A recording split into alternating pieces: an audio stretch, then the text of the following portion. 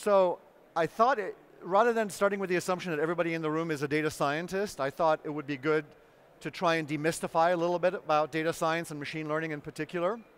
Um, and you know, I, will start by you know, doing what I call buzzword bingo. You'll walk around to all the booths here, and you'll hear every kind of term thrown around. Um, anywhere from you know, data science, machine learning, artificial intelligence, which are kind of like these top level things, and then lots of different algorithms, you know. The in vogue one these days is uh, deep learning. Um, you'll hear about supervised versus unsupervised, data lakes, um, TensorFlow. Does everybody know what TensorFlow is? We'll explain it a little as we go along. And what are GPUs and what are TPUs and why do we care in the context of machine learning? So, let's start with just the foundations. The first question you have to ask yourself, so machine learning is really letting code or programs understand what they're supposed to do by looking at data, rather than having a human write code to say if then else. So that's it at a top level. Now, the foundational approaches fall roughly into two categories. Is it supervised or unsupervised? What does that mean? It basically, generally, in the case of supervised, it means you create some piles of data you label them maybe good or bad, or you label them A, B, C, D. And then you take an algorithm and you extract variables out of those data piles, and you try and basically learn by virtue of seeing the data to classify something as A, B, C, or D, or classify something as good or bad. So this is basically coming up with a percentage likelihood that something is good or bad, or falls into a particular pile. Unsupervised, on the other hand, is I just have one pile of data. I just have one large pile of data. It hasn't been labeled. And what I'm going to do is I'm going to try and organize it in such a way that I can cluster it together. And I can figure out what is a normal baseline out of that data. And so subsequently, when I see some other data, I can describe it as abnormal within the context of the data that I'm looking at, or I can describe it as being an outlier. In other words, it is at the fringes of that data set as opposed to within the core of that data set. Now, one of the key questions you always have to ask yourself is when there is labeling involved, is it your job to do the labeling or is it the vendor's job to do the labeling? Right? Because whenever you hear about machine learning where you're training the algorithm, you're effectively labeling data. You're saying, this is good, I want more of this, less of that. You're doing the labeling. Now, um, algorithms, there are lots and lots of different algorithms. Naive Bayes is kind of the, the, the the core building block that a lot of uh, machine learning has been built around over the, time, over the years. There are decision trees, random forest being the most common of those. There is recursive Bayesian estimation, where you use basically um, some of the Bayesian techniques in a recursive way, so feedback on itself. K-means is the, is the most common clustering technique, where you try and cluster data and find outliers deep learning is the in vogue method um, of the last few years. So this is a reboot of neural networks. So, you know, I'm, I'm sure most of you have heard, heard, of neural nets, but the idea is basically to try and build systems that function almost like the human brain, a very small section of the human brain, because quite frankly, the human brain has billions and billions of uh, neurons in it.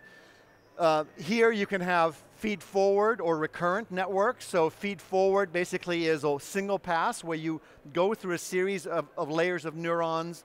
Recurrent basically has loops back where the current data is really considered in the context of data that has just gone before it.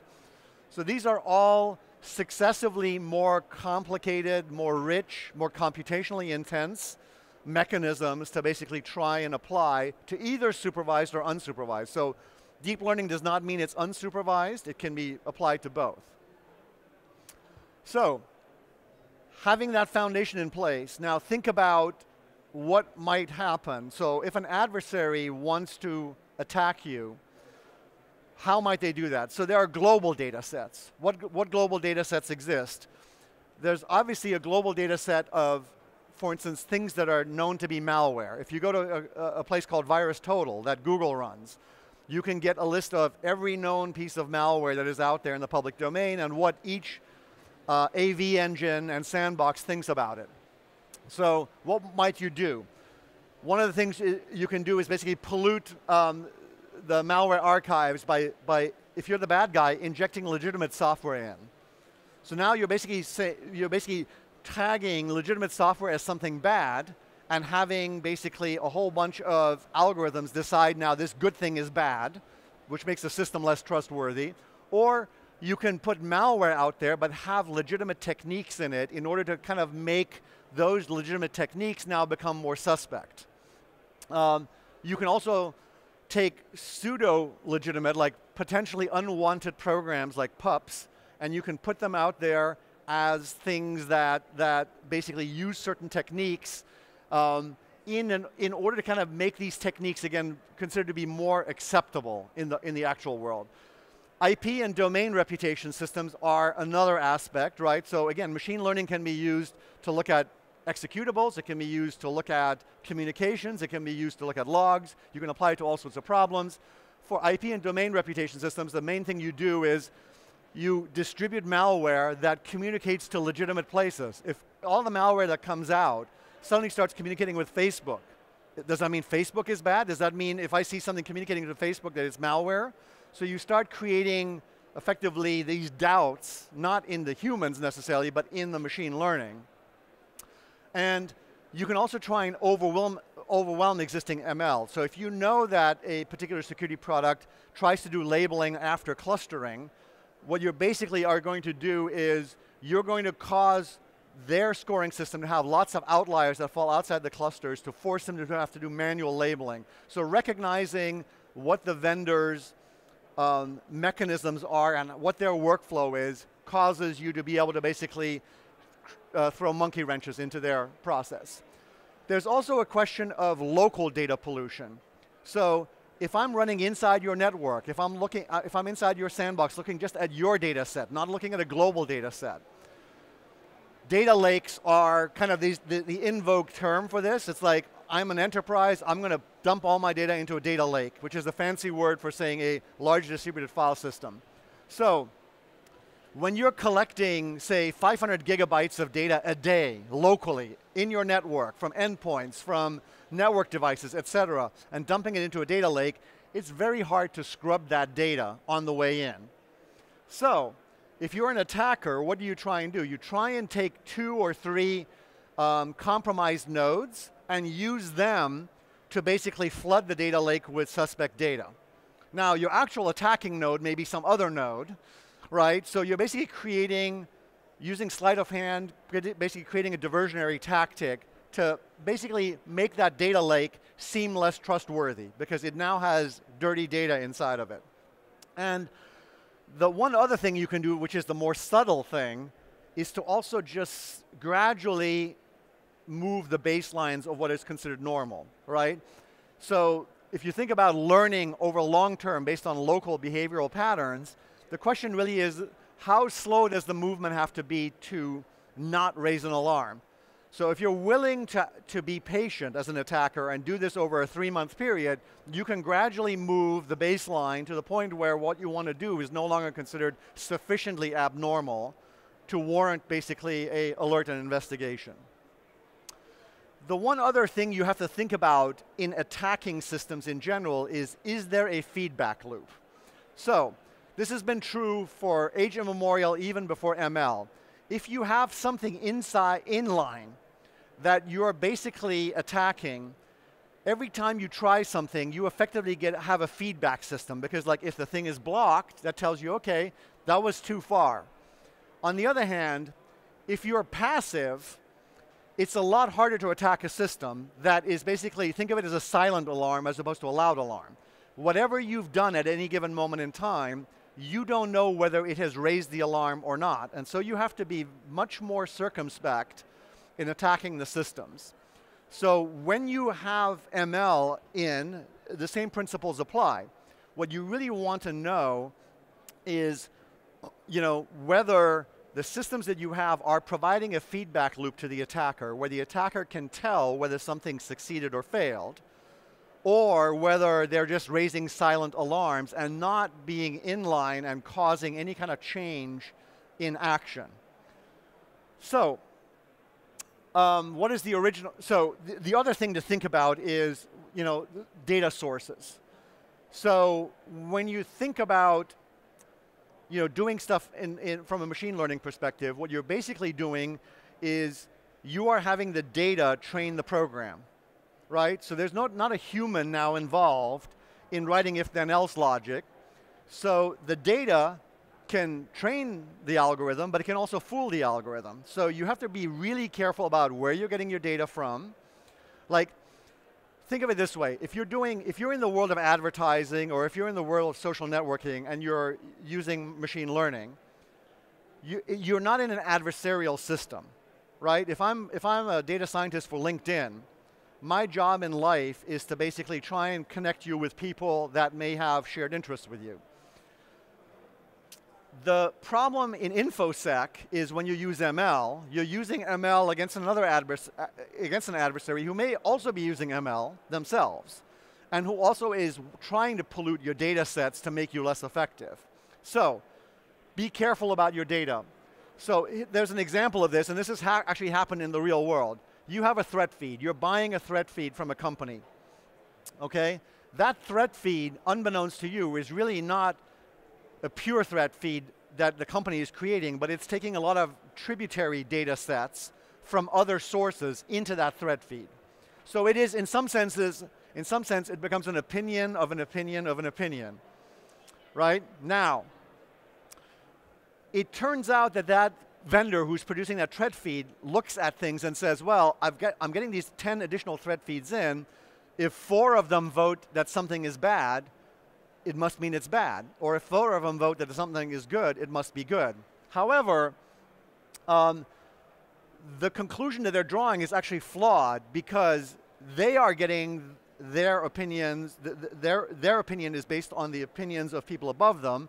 Those guys above them are getting data, are basically operating off of the same data sources. So what could be happening is that a single data source at the very top as it branches out, appears to be four data sources. They all seem to vote that, yes, this is something good or something bad. It gets down to the next layer. Oh, four data sources said something is good or something is bad. Therefore, thumbs up, it's bad, it, it's good, or it's bad.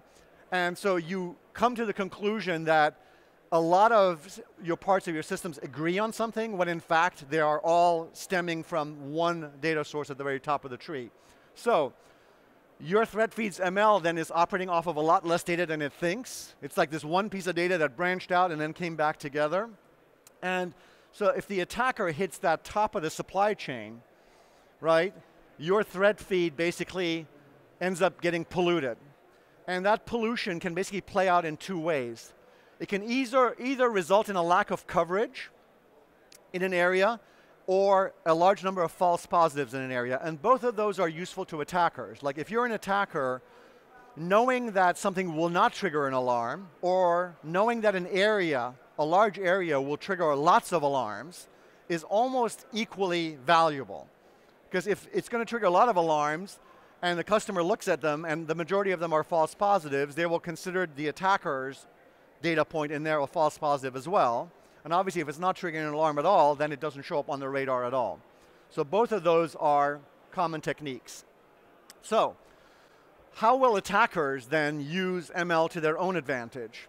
So one thing they can basically do is, rather than just polluting your data set, they want to use machine learning as their own tech. So one of the things you can actually do is you can extract a lot of data out of something like VirusTotal and construct your own machine learning to figure out what combinations of factors are likely to make something like a C2 endpoint not show up in a place like VirusTotal. So rather than trying to manually say if then else, you're going to take that data set and build your attack campaign using that data set. So the other thing that you can imagine is that given access to an actual security product, so think of a black box from a testing perspective. I don't know quite how this security product is working. It's maybe using machine learning. I can use like almost gaming concepts to try and play a game against that technology and find the edges of where its effectiveness are. Now, there are ways that we utilize ML to try and prevent that. Um, there, there's a technique basically called adversarial machine learning where you basically build your system using ML, and then you build a counter system using ML that tries to break that system, and you continually improve basically your coverage of your core algorithm based on game playing against an adversary that is also driven by ML. So there are good ways of trying to protect your product against that, um, but, but that's basically um, you know, what vendors have to do.